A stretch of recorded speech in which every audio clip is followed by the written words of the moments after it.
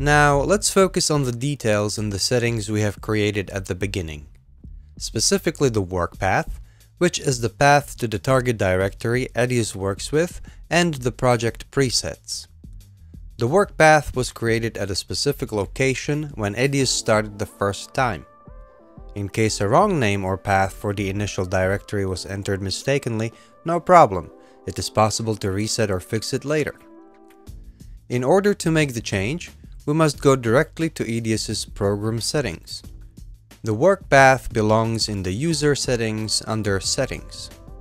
A number of options and setting configurations are available, but it is unnecessary to deal with those at the moment. Our focus is on the application part under the project file section. The first box lists the path that we specified when we first started Edius.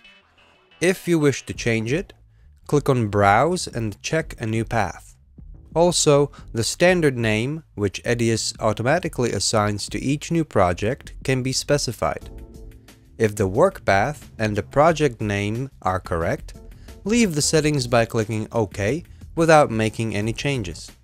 Another setting we'd like to go over with you is also located in the settings menu, but this time under the System Settings, Application, Project Preset section. In these settings, we can see the presets we defined when starting Edius the first time. In case we want to change the existing preset, we select and click Modify. If we want to create a new preset, we have two options. The first is through New Preset, the second through the Preset Wizard. This is the same method we used when we defined the settings when the program first started.